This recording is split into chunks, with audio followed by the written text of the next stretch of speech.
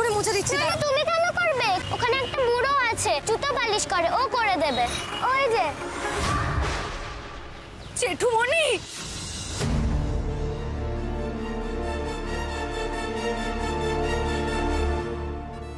এসো এসো এসো। দাদু আমার জুতোটা পরিষ্কার করে একটু পালিশ করে দাও।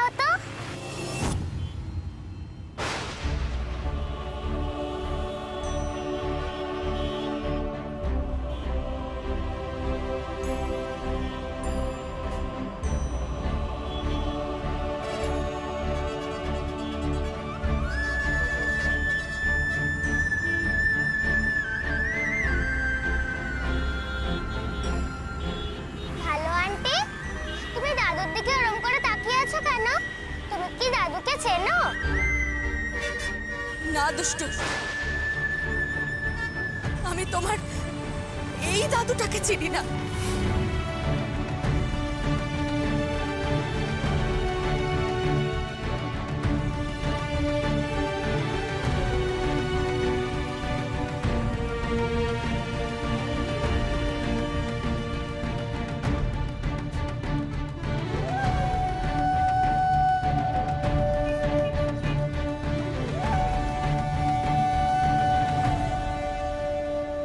হয়ে গেছে থ্যাংক ইউ দাদু দাঁড়াও আমি তোমার টাকাটা দিচ্ছি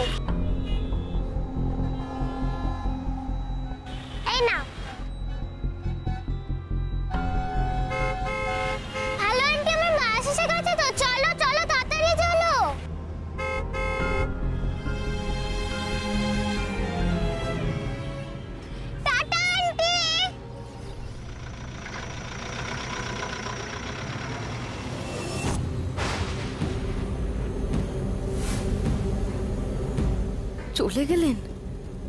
মুখ লুকিয়ে পালালেন মানুষটা। আজ পরিস্থিতির চাপে এই বয়সেও জেঠুমনিকে রাস্তায় বসে জুতো পালিশ করতে হচ্ছে। ছি ছি ছি ছি। এই যে আমাদের অক্ষমতা বলা মহেশ্বর। আমি কথা দিচ্ছি জেঠুমনি খুব শিগগির এই কষ্ট দূর হবেই। এই অপমান, এই জ্বালা বেশি দিন সইতে দেব না আমি আপনাদের।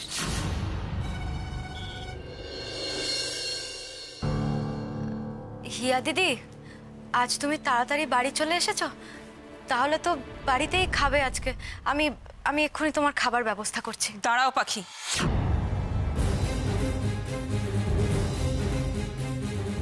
আসলে পাখি তুমি তো আমার মাস্তুতো দিদির যা সেই অর্থে তুমি আমারও আত্মীয় হলে। আর আত্মীয়কে দিয়ে এভাবে বাড়িতে কাজ করানোটা ঠিক হবে না। হিয়া দিদি হিয়া দিদি তুমি দেখো। আমার বলতে খুব খারাপ লাগছে কিন্তু তোমার আর এই বাড়িতে কাজ করাটা ঠিক ভালো দেখায় না। তুমি কিছু মনে করো না প্লিজ। বলছি যে হিয়া মানে ওর তো টাকাটা দরকার এই মুহূর্তে। ওর কোনো অসুবিধা নেই যখন তুমি আপত্তি কেন করছ? ঘরে তোর পর সারাদিন একা থাকে দুজনে গোটা বাড়িতে একা। কেন গো?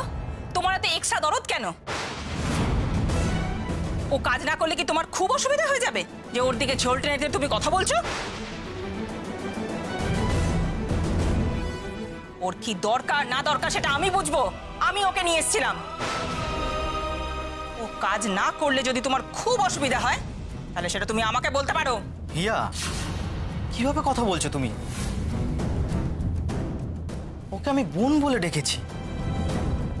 নিজেকে সংযত করো। দাদা হিয়া দিদি ঠিক কথাই বলছেন। আমার এখানে কাজ করা ঠিক হবে না। আর কত ভালোভাবেই বা বলতেন উনি আমাকে।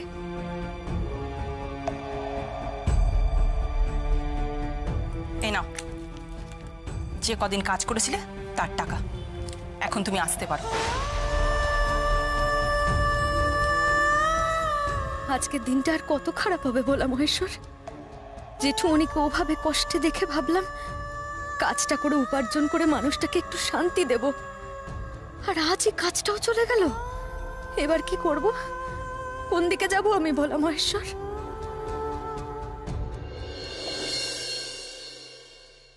মামিজি আমাকে প্লিজ ক্ষমা করে দেবেন।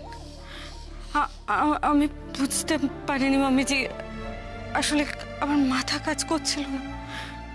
I am very sorry. रहने दो हमें कुछ सुनते चाहिए ना जो भी कहना है पापा जी से कहना তোমাকে আমরা এত प्यार করি लेकिन तुमने जो किया वो माफी के लायक नहीं है घर में पूजा थी তুমি ঘরের বউ আছো নাচা গানা कुछ भी कर लेना कितनी बेइज्जती है मालूम है तुमको মাম্মি জি থোড়া সমঝো সিমের mental condition is not okay দেখো সবাই ওকে কোয়েশ্চেন করছে ও কি করে কন্ট্রোল করবে এরকম একটা মেন্টাল কন্ডিশনের সময় যদি এত প্রশ্ন করে তাহলে কি পূজা এনজয় করতে পারবে तुम चुप रहो कुछ मत बोलो पापा जी आएंगे उन्हीं से कहना देख लेना वो भी माफ नहीं करेंगे माफ तो हम भी नहीं करेंगे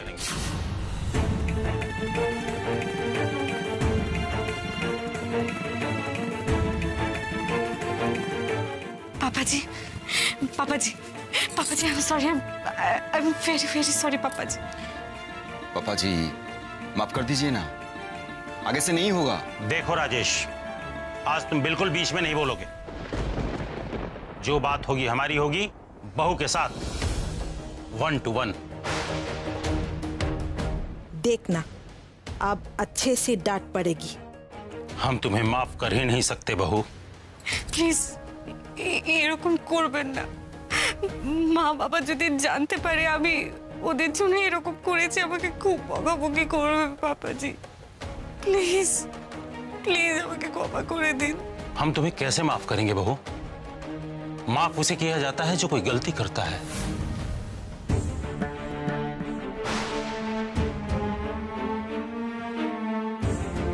तुमने तो कोई गलती ही नहीं की फिर माफी कैसी क्या बोल रहे हो आप ठीक बोल रहा हूँ। चुप रहो तुम। क्या गलती है बहू की? खुद के साथ हुआ रहता तो समझ में आता। सह लेती।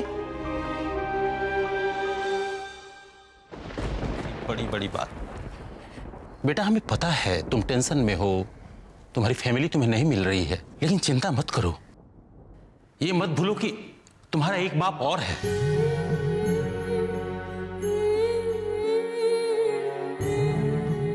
बहू तुम्हारी सब रेस्पॉन्सिबिलिटी अब हमारी है। तुम्हारे सुख में, दुख में हम हमेशा तुम्हारे साथ हैं। और समधी जी को, समधी जी को बहुत जल्दी हम लोग ढूंढ निकालेंगे।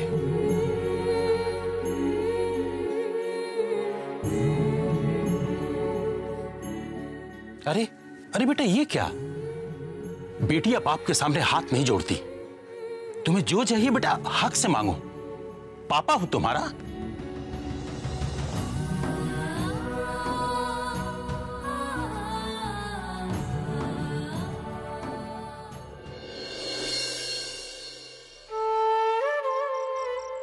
এসে গেছো? উফ, ভারী ব্যাগটা নিয়ে। বসো বসো। তবু ভাগ্যে একটু তাড়াতাড়ি ফিরলে। বসো, আমি জল দিই। বসো বসো বসো। ও কি কাম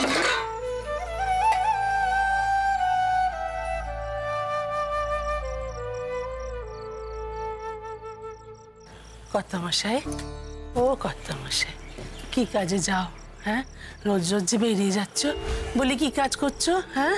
কাজ তো একটা কিছু করছ সেই জন্য বেরোচ্ছ। এই তো বুঝতে পারছি ঢের। আমায় বলবে না? আমাকেও বলবে না? বলো না বাপু মনটা ভারী উচাটন হয়। বলো না গো হ্যাঁ? আমি যদি বলি আমি কি করি জানলে? আমি তোমার কাছে ছোট হয়ে যাব। ছোট হয়ে যাবে? কি বলছো তুমি অকত্ত মশাই আমি তোমাকে ছোট ভাববো? আমাকে এই চিনলে তুমি? হ্যাঁ? তুমি সহ্য করতে পারবে না বেলা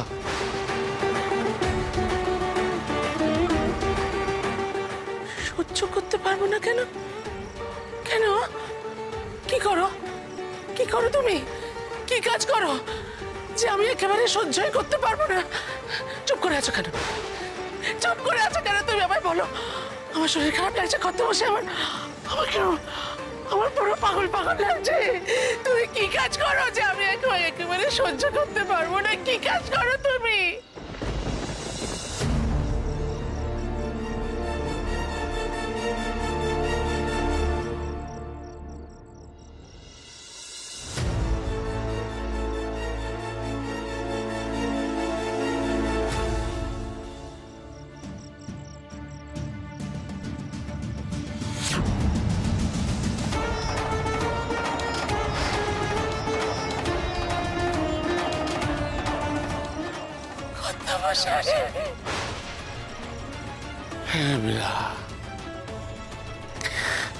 জুতো পালিশ করছি। অন্য লোকের। কি করব বলো বেলা? কি করব? ছেলে মেয়ে দুটো মুখের রক্ত জল করে পরিশ্রম করছে আমাদের একটু ভালো রাখার জন্যে। আর আমি মুখ বুঝে তা সহ্য করব। ওদের একটু সাহায্য করব না। তোমার কর্তা তো তেমন মানুষ নয় বেলা। কর্তামশাই কুশ আর রাঙা বউয়ের তো আমাদের দেখবার কথাই নয় যাদের দেখবার কথা, তারা শুধু আমাদের সম্পত্তি আত্মসাতি করেনি। বাড়ি থেকে দূর দূর করে তাড়িয়ে দিয়েছে, যাতে খাবার দিতে না হয় আমাদের। কোন মুখে এভাবে কুশ আর রাঙা বউয়ের ওপর গলগ্রহ হয়ে থাকব বলো? বেলা বেলা যার প্রতি অন্যায় করেছি, আজ তারই ওপর নির্ভর করে বাঁচতে হচ্ছে। এ যে আমি সহ্য করতে পারছি না বেলা। কিছুতেই সহ্য করতে পারছি না। আর কোনো কাজ পাওনি? কোনো কাজ পাওনি না? এই ধরো রেশন দোকানে খাতা লেখা মুদি দোকানে বসা।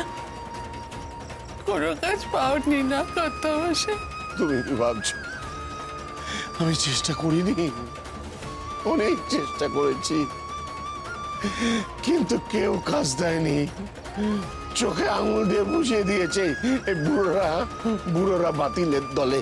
তারা কোনো কাজের নয় তোমার দলে।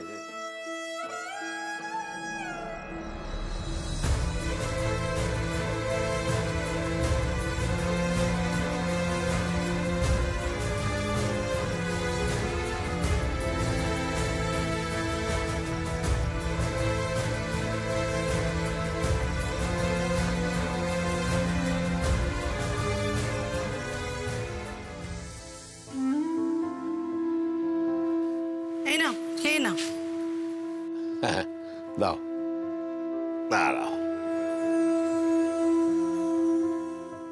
আবার নিজের জুতো নিজে নিজে পালিশ করছ? এত বড় ব্যবসা কে বলবে তোমায় দেখে? বাড়িতে এতগুলো কাজের লোক আছে কেন ওদের দিয়ে করাও না? বেলা এই কাজটা করতে আমার খুব ভালো লাগে। তাছাড়া নিজের ধুলোবালি অন্যের হাতে পড়ার আগে ঝেড়ে ফেলাই ভালো। খালি হ্যাঁ ছোটবেলা থেকেই এটা আমার অভ্যেস। যেন বেলা, আমার বাবা কোনোদিন আমার কোনো কাজের প্রশংসা করেননি। খালি একটা কথা বলতেন, তরুণ দারুণ জুতো পালিশ করতে পারে। এমন চকচকে করে দেয় যে নিজের মুখ দেখা যায়। বুঝলে বেলা? কোনোদিন যদি আমার ব্যবসা লাটে ওঠে, আমি জুতো পালিশের দোকান দেব। দেখবে রমরমিয়ে চলবে। ও কি কথা? ব্যবসা লাটে উঠবে কেন? ভালাই শার্ট ভালাই তোমার করা রসিকতা যে এইভাবে সত্যি হয়ে যাবে কোনোদিন স্বপ্নেও ভাবিনি কর্তা মশাই স্বয়ং মহালক্ষ্মী কি আমাদের এভাবে পরীক্ষা নিচ্ছেন গো? আমি তো কোনো অসৎ কাজ করিনি বেলা শুধু কুশ আর রাঙ্গাবুয়ের ওপর থেকে ভার লাঘব করতে চেয়েছিলাম। এদিকে কুশ রাস্তায় রাস্তায় ঘুরে আলতা সিঁদুর বিক্রি করছে রাঙাবু কি করছে জানো? লোকের বাড়ি রান্না করছে। কি বলে তুমি? রাঙাবো লোকের বাড়ি রান্না করছে। তুমি জানলে কি করে? বাকি তা বলে তুমি লোকের বাড়িতে রান্না করবে? না না, লোকের মুখ ঝামটা তুমি শুনবে। সেদিন শুনে ফেলেছিলাম বলে জানতে পারলাম যে রাঙাবু রাধুনির কাজ করছে। আমি যে জানি সেটা ওদের জানতে দিইনি। সেই কাজটা আর নেই জেঠুমনি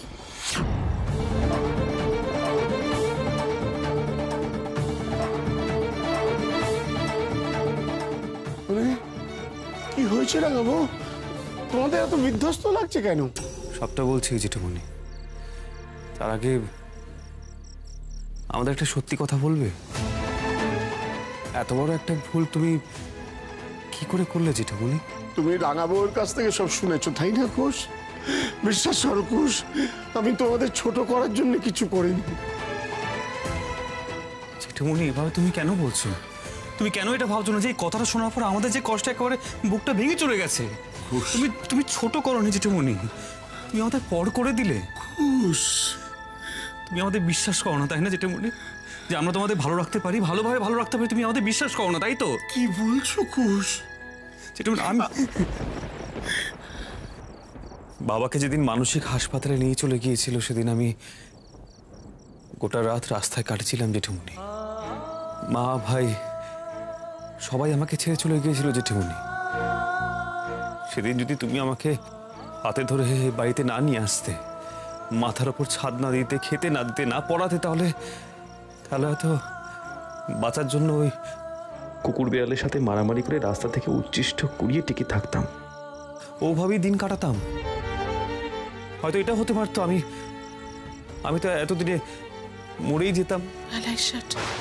ও কথা মুখে এনো না বড় মা, আমি অনেক ছোটবেলায় আমার মাকে হারিয়েছি। বাবাকেও হারালাম বিয়ের কদিন আগে। জানতেও পারিনি। আর দেখুন, এই শিল বাড়িতে বিয়ে হয়ে আসার পর নিজের অজান্তেই আপনাকে, জেঠুমণিকে আর বাবাকে পেলাম। মাথার উপর রাখার মতো হাত পেলাম। বাবা মার আশ্রয় পেলাম। এখন তো অভিভাবক, গুরুজন বলতে আপনারা ছাড়া আর আমাদের কেউই নেই, বড় মা।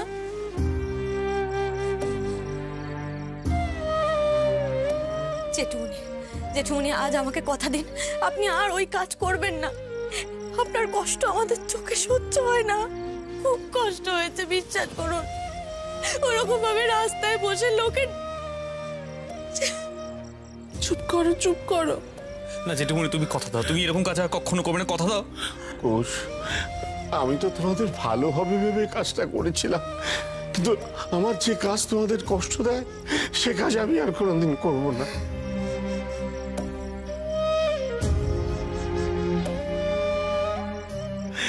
আমি কথা দিলাম কাল থেকে আমি আর জুতো পালিশ করতে যাব না।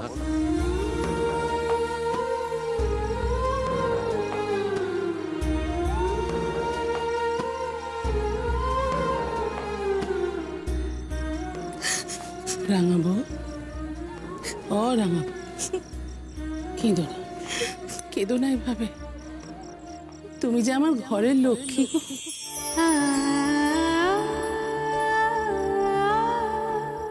ঘরের লক্ষ্মীকে অসন্ধ্যায় বুঝিয়ে ভাবে চোখের জল ফেলতে আছে।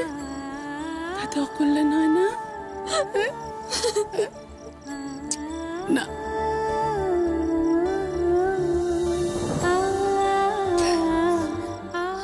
কুশবাবু এখন আমরা কি করব?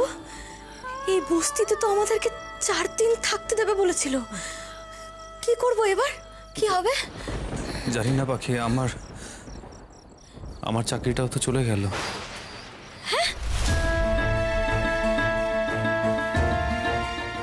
সে কি গো? তোমার কাজটাও নেই? আমার কাজটাও যে নেই গো। তোমাদের দুজনের একই দিনে কাজ চলে গেল? ভগবান, আর কি যে আছে এর শেষে? পাচ্ছি পাচ্ছি না ঠাকুর। দয়া করো, এবারে নরক যন্ত্রণা থেকে মুক্তি দাও, আর সইছে না। রাজপ্রাসাদ থেকে তো পথে নেমে এসছি, তাতেও শান্তি হচ্ছে না তোমার। দয়া করো ঠাকুর, এবার মুক্তি দাও। না বড় মা না। আমরা এভাবে ভেঙে পড়ব না। এই নরক যন্ত্রণা থেকে আমরা মুক্তি পাবই। পাখি সবটাই তো বুঝতে পারলাম কিন্তু সেটা কি করে সম্ভব? না আমার মাথায় তো কিছুই আসছে না। তুমি কি কিছু করার কথা ভাবছ? কিন্তু কুশবাবু এত বড় শহরে কাজের অভাব হবে বলো তো? সেটা কি করে সম্ভব? কত দূর দূর থেকে লোক কাজের খোঁজে এই শহরে আসছে। আজ অবধি কত হাজার হাজার মানুষকে বাঁচার রসদ জুগিয়ে ঠাঁই দিয়েছে এই শহর। লড়ার জায়গা করে দিয়েছে। আমাদেরকে কেন বঞ্চিত হতে হবে বলো তো? এই চারটে মানুষের পেটের ভাত আর মাথার ছাদ এইটুকু আমরা ব্যবস্থা করতে পারব না? ঠিক পারব। আমরা ঠিক পারব। দেখো কুশবাবু আমরা ঠিক পারব। বাকি আমি সবটা বুঝতে পারছি। কিন্তু এই মুহূর্তে সমস্যার সমাধানটা কি করে করব? মানে উপায়টা কি? উপায় একটাই। মিলেমিশে থাকা, বেঁধে বেঁধে থাকা। আমি না কুশবাবু এই কদিনে একটা জিনিস খুব ভালো করে বুঝতে পেরেছি। পরিবারের সব থেকে গুরুত্বপূর্ণ জিনিস হলো একসঙ্গে মিলেমিশে থাকা। তাহলে সমস্ত বাধা বিপত্তি কাটিয়ে ফেলা যায়।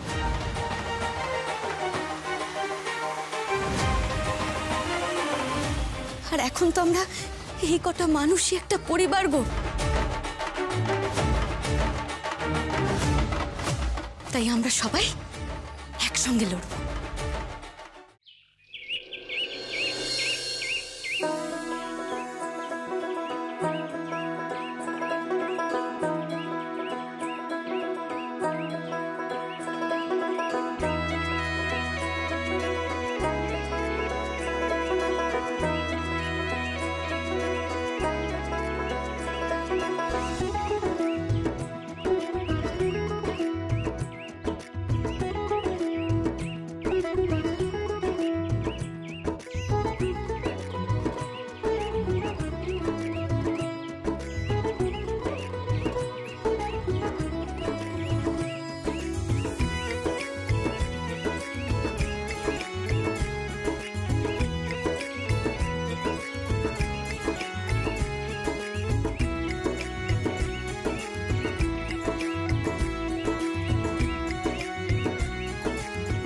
বেলা।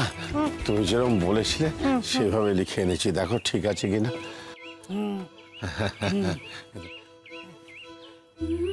বাহ।